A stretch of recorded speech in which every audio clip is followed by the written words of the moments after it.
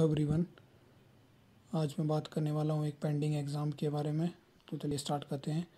H W P S C Shimla ने पिछले साल एक नोटिफिकेशन जारी की, जिसमें डिफरेंट टाइप ऑफ़ वैकेंसीज थी।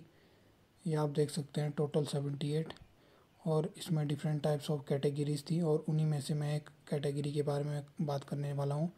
असिस्टेंट इन्वामेंटल इंजीनियर जिसकी नाइन वैकेंसीज थी।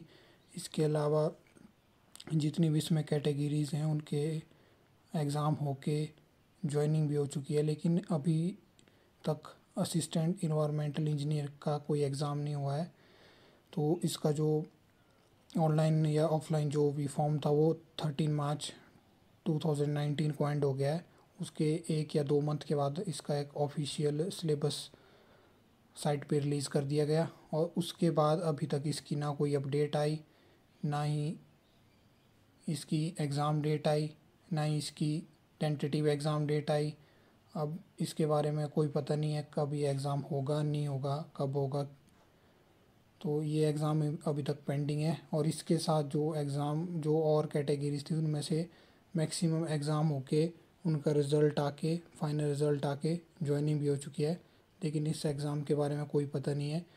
इसमें जनरल कैटेगरी की फ़ीस चार सौ थी। तो अब देखते हैं एग्ज़ाम कब तक होता है।